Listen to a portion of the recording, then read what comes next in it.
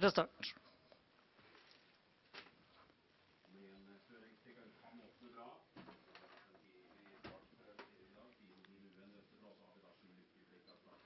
Starten er gått. I løp sju Guttorm Brekkes pokaler på 2012. Godt i gang fra start. Sju Lykkeflikka som går på topp. Én Søringspika er bra med innvendig. Ute i banen så åpner også to Reidun og seks Urd bra.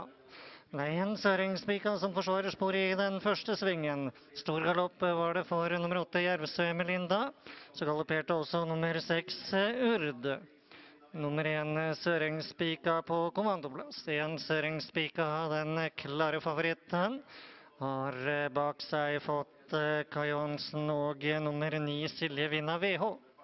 Tredje innvendig på nummer to Reidun. Dødens porsjon sitter nummer sju Lykkeflikka.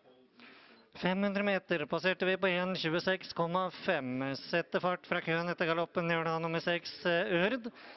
Par utvendig på nummer 4 Odin UN. Ny galopp for nummer 6 Urd. Fjerde innvendig av 11 STCC Faxa.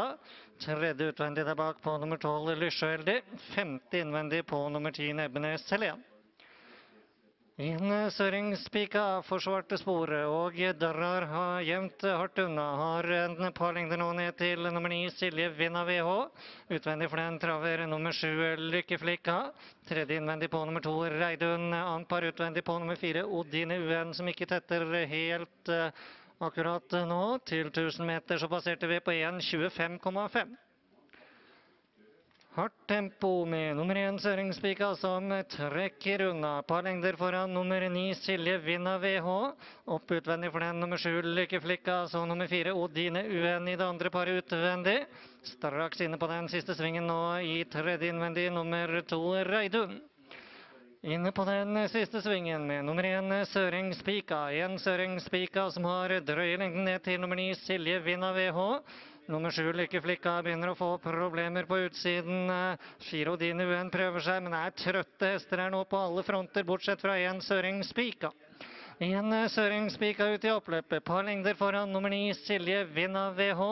Tidlig på oppløpet er med nummer én Søringspika. Flere lengder foran ni Silje Vinna VH som slår på bremsene. Sju Lykkeflikka holder farten veldig fint i dag. Nummer én Søringspika det tar imot siste biten lite grann, men hun vinner sikkert foran nummer sju Lykkeflikka. Tredje til nummer to Reidun.